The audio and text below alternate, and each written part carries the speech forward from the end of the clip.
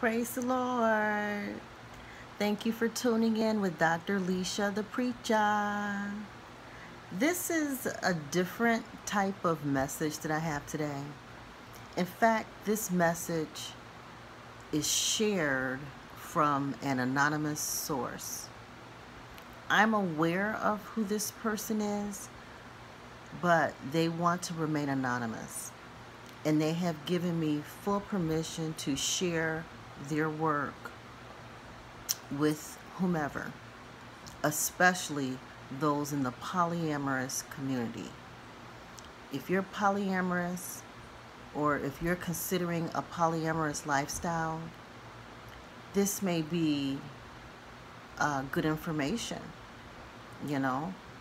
So, again, this is a sermon, a message from um, an anonymous source, and they'd like to remain that way, and that's fine. So, uh, the topic is shame and sin goes together. Shame and sin goes together. And it says, and there are uh, three major points um, under this um, title.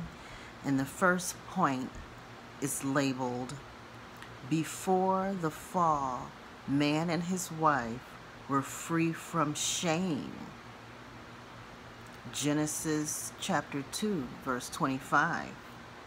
The second point of this sermon is the fall of man brought shame to the man and his wife, which is Genesis 3 8 through 10. And then the final point is the moment you obey man made external agencies, shame enters. Genesis 3 and 11.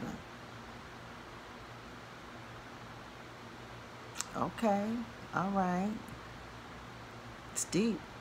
Let's dig in.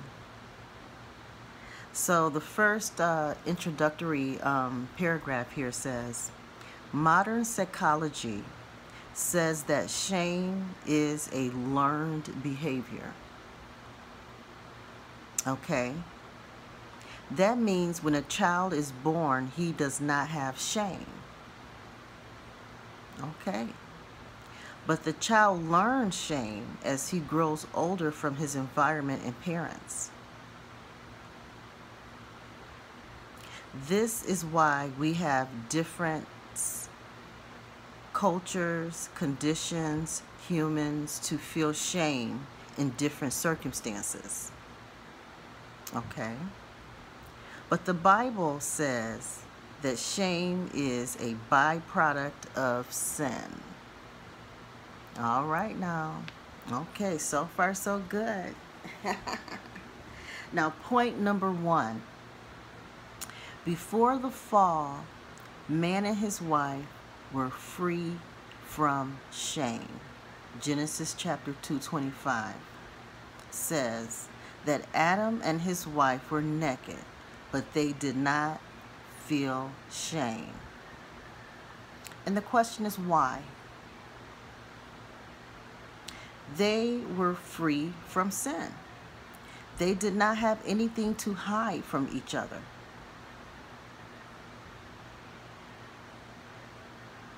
Poly life promises such an openness to every male and female. In poly life, love has no boundaries and there is nothing to hide from each other. I know the freedom my partner enjoys, and he knows my freedom. This freedom does not presuppose any evil. Our mutual consent is not for cheating mutually, but enjoying the freedom love gives. There, the possibility to sin decreases and probably vanishes. Wow. The love stories of the different poly people stay open, naked, but does not invite shame to their spouses. Mm, okay. The second point the fall of man brought shame to the man and his wife. Genesis chapter 3, verses 8 through 10. Once Adam and Eve ate the fruit, the conditions changed. The devil, a third person, began to bring restriction to their freedom. Mm. Till then, they were free.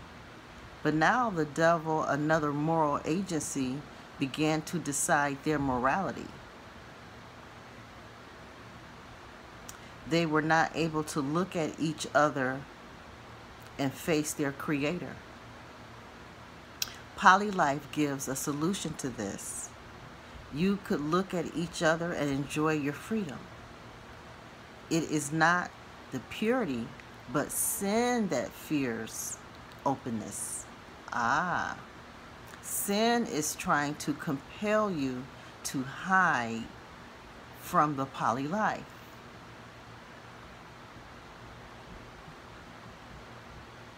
Mm. Mm. Point number three. The moment you obey man-made external agencies, shame enters. Genesis 3 and 11. Here God is asking, who told you that you are naked? Adam confessed that he had eaten the fruit which God had forbidden. Many people live with the poly mindset, are forced to sacrifice their freedom because they are wondering what others would think. So instead of enjoying a free life of freedom, they start to cheat their partner. As many conservatives follow Victorian ethics till today, many turn their faces from the chances that happen in the world.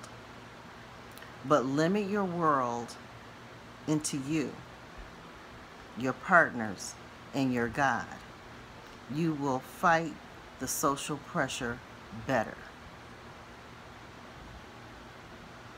Well, thank you very much, Anonymous Source, for sharing this sermon, this message. Um, I've recently been teaching on and sharing these exact exact scriptures um, during my tarot readings. During my tarot readings, I start off each reading with a scripture, and I started from Genesis chapter 1 verse 1 and I happen to be in chapter 3 now. I'm in chapter 3 now. And um, and I'm covering a lot of this, um, but I'm not putting a polyamorous uh, perspective on it, and so I do appreciate this polyamorous perspective, and um, I look forward to as I continue to give readings to entertain these ideas and these concepts in this particular sermon. And I just want to encourage my listeners to click on like and subscribe. And please don't be shy to donate. I receive donations and my Cash App and PayPal information is in the description. Very easy to um, utilize, very easy way to donate, and also to keep uh, record for yourself.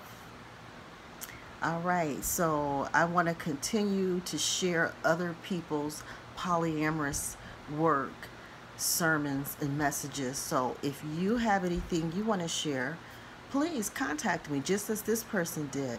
They contact me, said, hey, I have this. I want to share it. Um, you know, just don't mention me kind of thing. And that's fine. I can do that. I'd love to. Because this isn't just about me. It's about all of us. We're all in this together. We're all in this, on this journey together.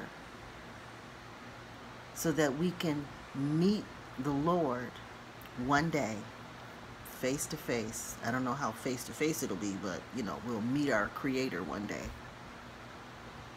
You know, after this experience that we're currently in, this natural experience, this earthly experience. So anyway, I just want to say thank you to um, the person who shared and I want to say thank you to those who allowed me to share it with you. And I appreciate you listening. Dr. Lesia the Preacher is here to serve us all.